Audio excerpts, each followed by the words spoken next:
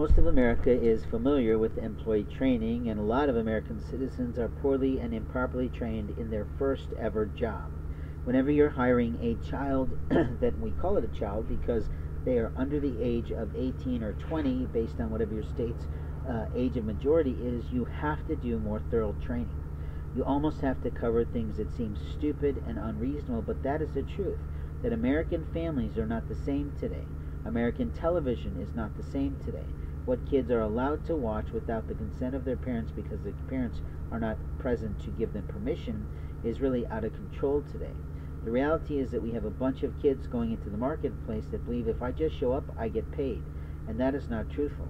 If you show up, you're earning a living wage. And the truth is, you're earning it by doing particular and performing specific duties.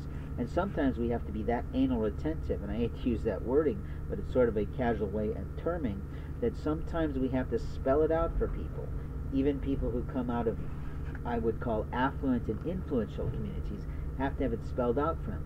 Because you perform these duties, our company is compensating you with this type of cash being directly placed into your bank account. When you don't perform these duties, there is a risk of loss of job and the loss of income to your individual goals and your family if you have one.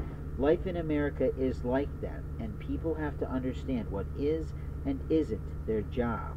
What is their job is to perform three basic duties, and typically in the retail world, those three are straightforward to get and keep, maintain, if you will, consumers, customers, to restock shelves of vended product for our corporate office that sells to brands and third, to improve the quality and nature of the shopping experience.